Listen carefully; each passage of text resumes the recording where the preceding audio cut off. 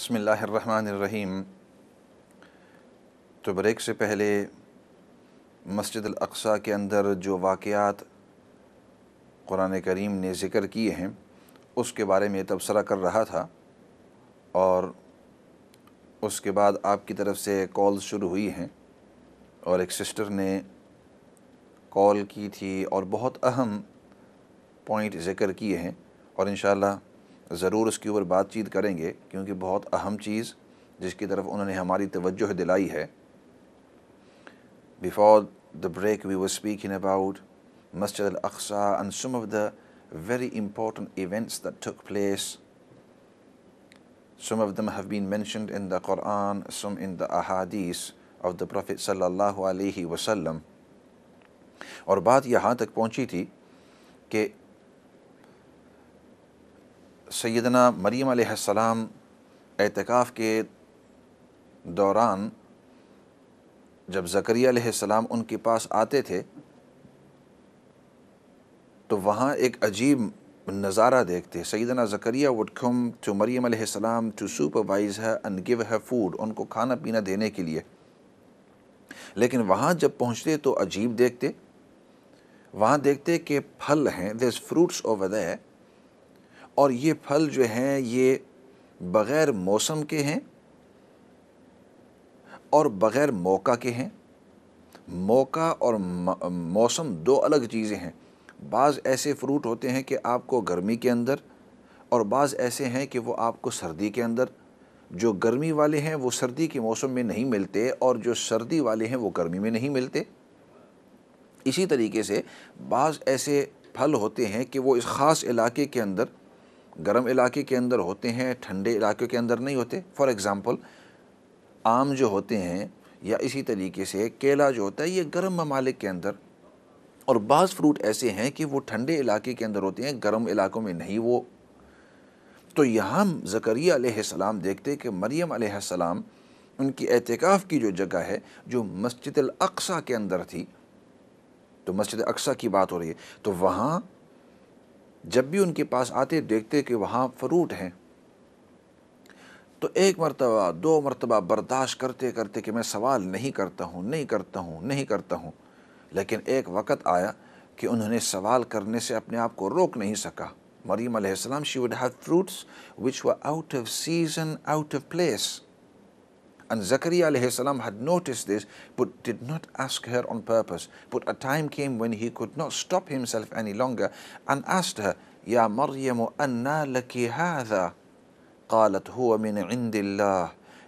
इन अल्लाह यरज़ुक़ मन यशाउ बग़ैर हिसाब ए मरियम ये फल फ्रूट आपको कहाँ से मिलते हैं ये कहाँ से आते हैं तो उस वक़्त मरियम अलैहिस्सलाम जवाब देने लगी कि ये अल्लाह की तरफ से आते हैं अल्लाह रब्बुल इज़्ज़त जब चाहे जिसको चाहे और जिस वक़्त चाहे, बग़ैर हिसाब किताब के उनको रिस्क दे देता है।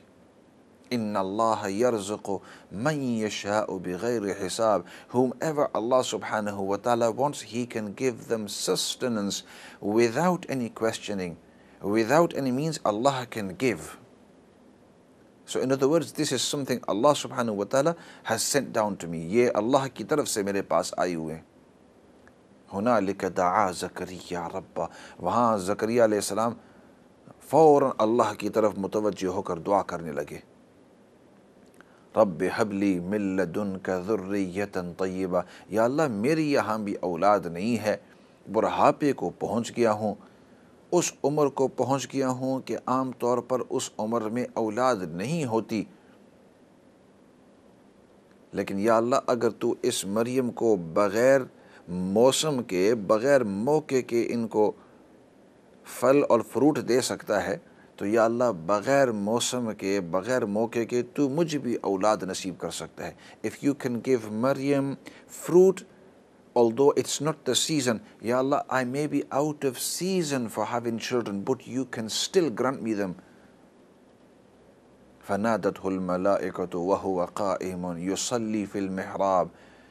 वहाँ महराब के अंदर महराब जो मस्जिद के आगे वाला हिस्सा होता है वहाँ ज़करिया सलाम अभी दुआ ही कर रहे थे बाज़ ने फरमाया कि वहाँ नमाज़ पढ़ रहे थे युसली फिल महराब क्योंकि युसली ये दुआ के लिए भी आता है नमाज के लिए भी आता है तो वहाँ अभी इबादत ही के अंदर मशगूल थे।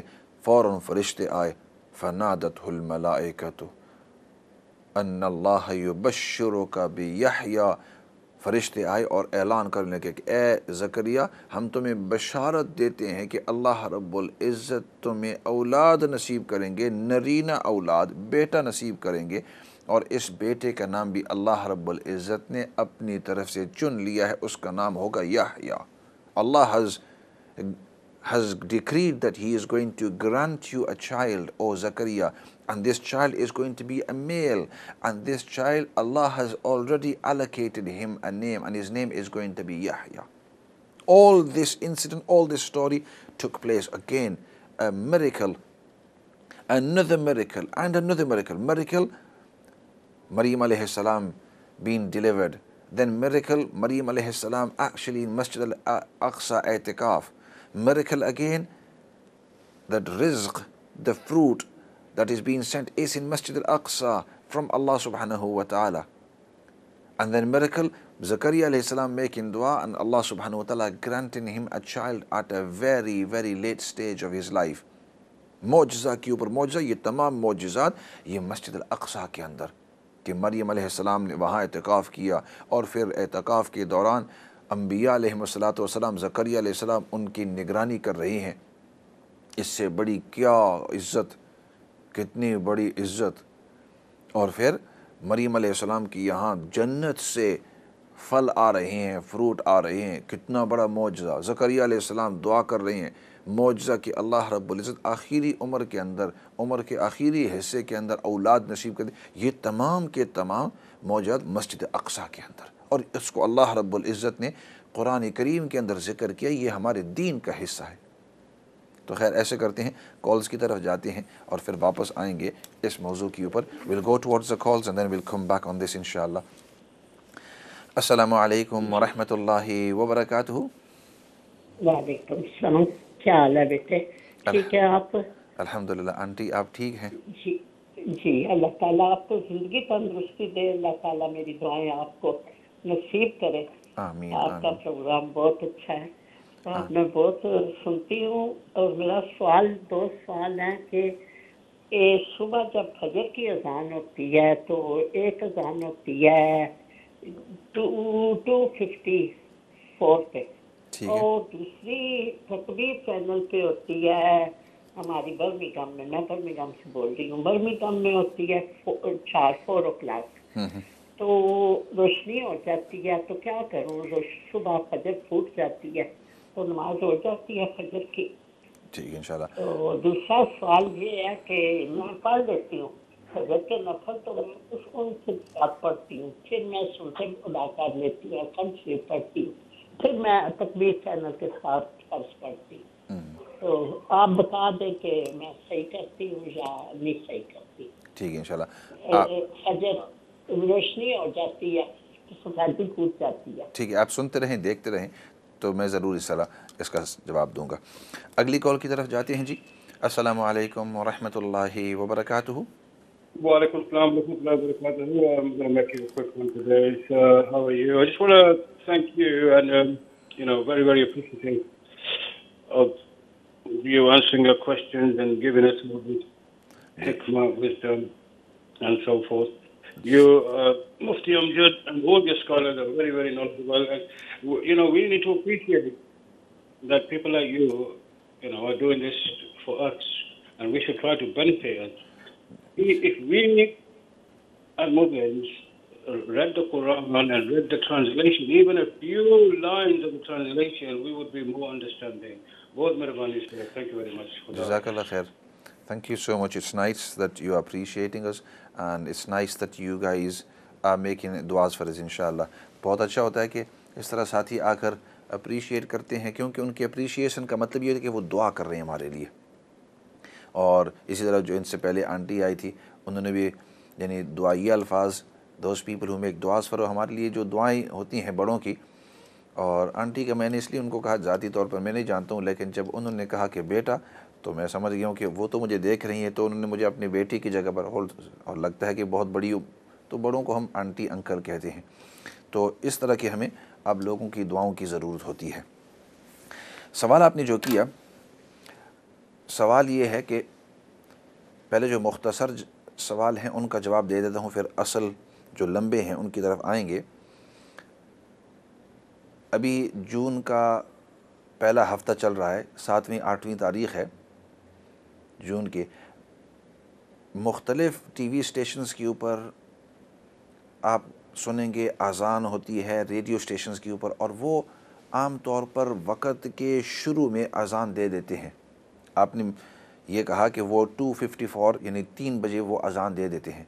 तो चूँकि वक़्त दाखिल हो जाता है, तीन बजे तकरीबन वक़्त दाखिल होता है आजकल तो उन्होंने शुरू वक़्त के अंदर अजान दे दी। तो उसके बाद अगर आप नमाज़ पढ़ना चाहते हैं, चूँकि जून का महीना शुरू शुरू का चल रहा है तो उस वक़्त फ़जर का वक़्त दाखिल हो जाता है। आप तीन बजे अपनी नमाज़ पढ़ सकते हैं। और फिर आपने जो अगली बात कही कि मस्जिद के रिसीवर हैं या और जगहों से चार बजे अजान आप सुनते हैं, वो भी अपनी जगह पर सही है। क्योंकि नमाज़ का वक़्त आजकल तकरीबन, फजर का तकरीबन औसतन हाफ़ पास फोर, साढ़े चार बजे ख़त्म हो जाता है। पाँच मिनट आगे, पाँच मिनट पीछे से। तो उस साढ़े चार बजे से पहले पहले अगर आप नमाज़ पढ़ लें तो बिल्कुल ठीक है। इस मुल्क के अंदर चार बजे तकरीबन ऐसा लगता है कि रोशनी हो गई, लेकिन वो सही रोशनी नहीं है। सूरज अभी तक तुलू नहीं हुआ है। जिस मस्जिद में मैं इमाम हूँ तो आजकल के दिनों के अंदर हम जमात की जो नमाज़ है, फजर की, वो चार बजे पढ़ते हैं। इन दिनों के अंदर in these days we our जमात नमाज़ एट फोर ओ क्लॉक तो चार बजे हम अपनी जमात की जो नमाज़ है वो पढ़ लेते हैं, क्योंकि अभी तक सूरज तुलू नहीं हुआ। तुलू होने के करीब है, लेकिन तुलू चूँकि नहीं हुआ तो इसलिए आपकी नमाज़ हो गई है। तो इसलिए सबसे पहले आपके सवाल का जवाब कि अगर तीन बजे कहीं से अजान हो, आजकल के दिनों के अंदर तो उन्होंने अजान शुरू वक़्त के अंदर दी है तो ये पूरा तीन बजे से लेकर साढ़े चार बजे तक ये पूरा का पूरा फ़जर का वक़्त है। तो इस वक़्त के अंदर जब भी आप अपनी फ़जर की दो सुन्नतें, दो फ़र्ज़ पढ़ लें तो ये आपके लिए काफ़ी है। शुरू वक़्त में पढ़ना चाहते हैं, तब भी पढ़ सकते हैं। और अगर चार बजे पढ़ना चाहते हैं, तब भी पढ़ सकते हैं। जब भी मर्ज़ी है, इस डेढ़ घंटे के अंदर तो वो भी अपनी जगह पर सही है और ये चार बजे जो अजान दे रहे हैं, ये भी अपनी जगह पर सही है। और अगरचे आपके करीब जो मस्जिद है, उन्होंने, चूँकि आप बड़ी बूढ़ी, आप घर से फ़ोन कर रही हैं सवाल कर रही हैं तो अगरचे चार बजे आपके करीब जो मस्जिद है, उन्होंने अभी तक अजान नहीं दी है, लेकिन चूँकि तीन बजे वक़्त शुरू हो गए तो आप तीन बजे के बाद बिल्कुल अपनी नमाज़ पढ़ सकती हैं। उस अजान का इंतज़ार करने की ज़रूरत नहीं है। आप अजान से, यानी वक़्त जो ही शुरू हो जाए, अगरचे अजान न हो तो आप अपनी नमाज़ पढ़ सकती हैं। और बाकी, इससे पहले जो सवाल हुआ था सवाल तो लंबा था ब्रेक से पहले, लेकिन मुख्तसर ये था कि जो मस्जिद के आइम्मा हैं और जो मस्जिद के ज़िम्मेदार हैं और ख़ासता जो वक़्त हैं, ज़रूरी है कि वो हर लिहाज से पढ़े लिखे हों, दुनियावी हालात से वाकिफ़ हों। और ये हमारी पहले ज़माने के अंदर मैंटालिटी थी और ये मैंटालिटी बनाई गई थी। जब वहाँ हमारे पाकिस्तान, हिंदुस्तान, बांग्लादेश, ये पूरा का पूरा एक मुल्क था हिंदुस्तान उस वक़्त। इसकी पूरी एक दास्तान है कि उलमा के ख़िलाफ़ एक पूरा कंपेन किया गया था, ताकि लोगों की नज़र से इन उलमा की इज़्ज़त और आबरू ख़त्म हो जाए और इलम सीखना और सिखाना और कुरानी तालीम लोगों की नज़र से गिर जाए, ये पूरा कंपेन किया गया था। क्योंकि उससे पहले उलमा की इतनी ज़्यादा कदर होती थी कि उलमा और दीनी जो सरबरा थे, वो जो भी बात करते थे तो तमाम की तमाम पब्लिक उनकी बात को मान कर उसके मुताबिक चलते। तो मुखालिफ ने देखा कि मुसलमानों को तोड़ने के जो बहुत सारे वजूहत हैं और तरीके हैं, उनमें से एक तरीका ये है कि कुरान की, यानी दीन की और दीन वालों की इज़्ज़त इनकी नज़र से निकाल दो। और जब दीन की और दीन वालों की इज़्ज़त इनकी नज़र से, निगाह से निकल जाएगी तो ये दीन के करीब भी नहीं होना चाहेंगे और जो अल्लामा है उनके करीब भी नहीं होना चाहेंगे और अपनी औलाद को आलिम हाफिज़ बनाना नहीं चाहेंगे। और ये उनकी जो कोशिश है, काफ़ी हद तक कामयाब हुई।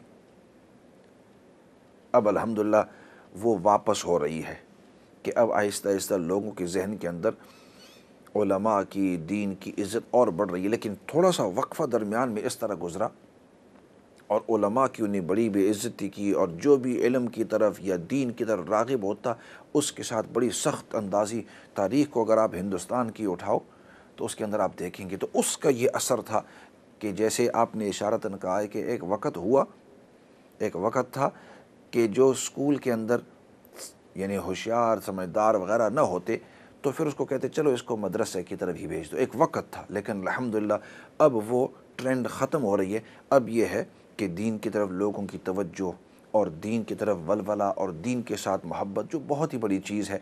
और आपकी बात ठीक है कि हमारे उलमा वो ऐसे होने चाहिए कि सिर्फ़ उनको किताबी इलम नहीं, बल्कि हालात हाजरा से भी उनकी वाकफ़ियत हो। डिलीवरी का अंदाज़ भी ऐसे हो कि गोया आपसे बातचीत करें। सिर्फ़ बयान, सिर्फ़ मकसद नहीं, बल्कि आपसे ऐसे बात करते हों कि आप चाहते हों कि मैं उसके साथ बातचीत करता हूँ वो मुझसे सुने, मैं उसकी बात सुनूँ। दीन आपको इस तरीके से समझाए कि आप दीन सुनना चाहें। आप उससे जाकर खुलकर सवाल कर सकते हैं। और उनको हालात हाजरा से वाकिफ़, सियासत से उनको वाकफ़ियत, साइंस से उनको वाकफ़ियत तो ये तमाम की तमाम हमारे पहले उलमा होते ही इस तरह थे। दरमियान में थोड़ा सा वक्फ़ा आया था। अब दुआ करो, अल्लाह रब्बुल इज़्ज़त हमें अच्छे लीडर नसीब फरमाए और अल्लाह रब्बुल इज़्ज़त दीन की, उलमा की, दीनदार लोगों की जो मोहब्बत है, वो दोबारा हमारे दिलों के अंदर डाल दे ताकि दीन के ऊपर हमारे लिए अमल करना, उलमा के साथ ताल्लुक़ रखना हमारे लिए आसान हो जाए। ये एक बहुत ही अहम हिस्सा है हमारे दीन का। लेकिन आपकी बात बिल्कुल सही कि जब तक उलमा अपने आप की इज़्ज़त ख़ुद बढ़ाएँगे नहीं और इज़्ज़तदार नहीं बनेंगे, उस वक़्त तक लोग उनकी इज़्ज़त नहीं करेंगे। अगर उलमा अपनी इज़्ज़त गंवा दें कि लोगों के पैसे के पीछे, लोगों के जेबों की तरफ़ उनकी निगाह हो तो उस वक़्त लोग फिर उनसे दूर होते रहेंगे। इसी के साथ इस बात तो इसके ऊपर बहुत सारी हो सकती है और अब अलहमदिल्ला एक पूरा ट्रेंड है, आप देखेंगे कि हमारे अइम्मा जो हैं, आपने देखा ख़ुद, आपके सामने जो मुखातब है, आलिम दीन भी होते हैं और उसके साथ साथ वो वक़्त के degree holder, M A P H D भी होते हैं। इसी तरीके से वो टीचर्स भी हैं, हेड टीचर्स भी हैं, इसी तरीके से वो लॉयर्स भी हैं, इमाम भी हैं और वो सिविल सर्विस के अंदर भी हैं, वगैरह वगैरह। लेकिन सबसे बड़ी बात कि अल्लाह उलमा के दीन की दीनदार लोगों की मोहब्बत हमारे दिल में डाल दे और अल्लाह रब्बुल इज़्ज़त हमें दीन पर इस्तकामत नसीब फरमाए। वक़्त मुख्तसर रह गया है। आज के इस सेशन को भी दुआ के साथ ख़त्म कर लेते हैं।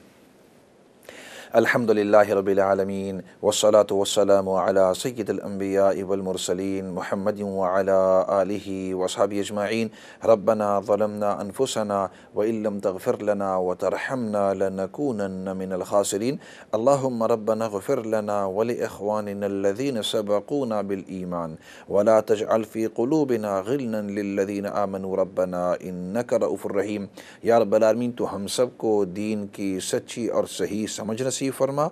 या अल्लाह, तू हम सबको दीन पर इस्तकामत नसीब फरमा।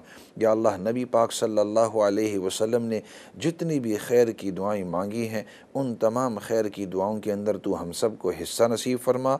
नबी पाक सल्लल्लाहु अलैहि वसल्लम ने जिन चीज़ों से हिफाजत और पनाह मांगी है, उन तमाम चीज़ों से हिफाजत और पनाह नसीब फरमा। या अल्लाह, जितने भी बीमार हैं, तमाम बीमारों को शिफा नसीब फरमा। जितने भी परेशान हाल हैं जहाँ कहीं भी परेशान हाल हैं सब की परेशानियों को दूर फरमा और या अल्लाह हमारी जब मौत का वक़्त आवे तो हमें ख़ात्मा बिल ईमान नसीब फरमा। या अल्लाह शैतान के हमलों से उसके मकर फ़रेब से हिफाजत फरमा। तेरे तमाम अहकाम और नबी पाक सल्लल्लाहु अलैहि वसल्लम की तमाम सुन्नतों पर पूरे तौर पर अमल करने की तोफ़ी नसीब फरमा। या रबालमीन नबी पाक सल्लल्लाहु अलैहि वसल्लम के अखलाक हमीदा तो हम सबको नसीब फरमा। या अल्लाह, हमारे दिल के अंदर जो आपस की दिल की कदूरतें हैं या अल्लाह उनको दूर फरमा। या अल्लाह जिन जिन लोगों ने दुआ का कहा है, या लिखा है, या उनको तो है, उनके भी, हमारे भी, जितनी भी जायज़ हाजात मसलहत के मुवाफ़ हो और जिसमें तेरी रजामंदी हो, या अल्लाह अपनी कुदरत कामिल से उन सबको पूरा फरमा। सुबहान रबिक रबिल्ज़तम यसिफ़ून वसलाम अलमरसलिन वलहमदिल्ला रबालमीन बरहमतिक या अरहमर्राहिमीन मैं हूँ आपका मुखातब मौलाना फजलदाद और हमारा ये प्रोग्राम हर मंडे और ट्यूसडे शाम को सात बजे से आठ बजे तक लाइव हुआ करता है और फिर मुख्तलिफ़ अवकात में इसको रिपीट किया जाता है। ख़ुद भी सुनिए और दूसरों को भी बतलाइए। क्या पता आपके कहने की वजह से कोई और आदमी इसको सुने और जो बात सुने उसके ऊपर अमल कर दे तो उसके अमल करने का भी आपको सवाब मिलता है। और इसके अंदर आपको पता है दिल के अंदर, पूरे हफ़्ते के दौरान जो भी आपके सवालात आपके जहन के अंदर हों, आप आकर सवाल करें। हो सकता है कि आपके सवाल की वजह से कितने हज़ारों जो सुनने वाले हैं, उनको भी फ़ायदा हो सकता है। बाज़ात आपके एक सवाल की वजह से हज़ारों के जहन के अंदर जो खलफिशार है या कन्फ्यूज़न है, वो भी साफ़ हो जाता है। तो इसलिए ख़ुद भी सुनिए, दूसरों को भी बतलाइए और यंगस्टरों को भी इधर बैठाइए। इसी के साथ